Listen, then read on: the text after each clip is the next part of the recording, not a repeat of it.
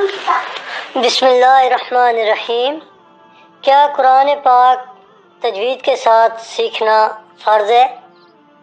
कुरान पाक तजवीद के साथ पढ़ना वाजिब है? लाजम है। आ, उस सूरत में कुरान पाक तजवीद के साथ सीखना लाजमी है या उस सूरत में कुरान पाक को पढ़ना का गुनाह होगा?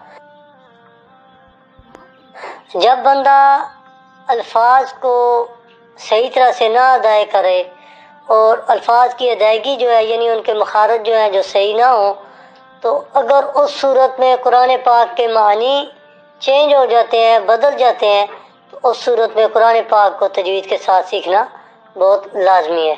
जजाकल्लासन Thanks for watching.